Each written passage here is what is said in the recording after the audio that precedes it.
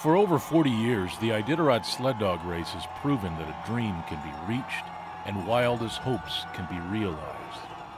Joe Redington and others began this race to ensure that the heritage of the dogs that helped tame this frontier would never be forgotten, nor disappear from a sun drenched horizon. That the sound of gliding runners and the pounding of feet working in unison would be an image seen and experienced by people from every corner of the globe. Today, the Iditarod is Alaska's greatest sport.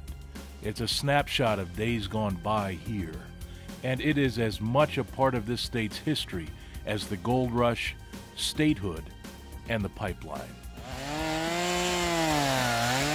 What started as a dream has been and is fueled by a literal army of volunteers. More than just fans, they are people who believe in that dream. They too come from all corners of the globe to help with a labyrinth of logistics, communications, and a need for all out manpower. It may be the greatest volunteer force in the history of sport. Tens of thousands of people have helped with the trail, the amenities, and the organizing of a tremendously labor intensive logistical undertaking. Their efforts are absolutely crucial. Without them, the dream would die. The dogs would disappear from this landscape. The Iditarod Sled Dog Race is a non-profit effort, and it's time for its fans to get involved. Time to be a part of this great volunteer effort.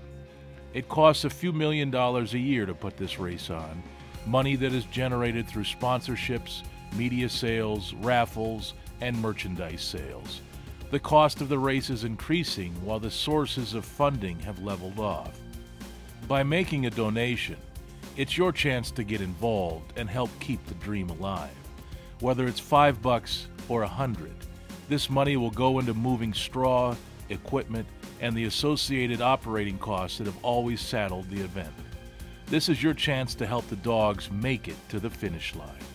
Help keep the dream alive and get involved today.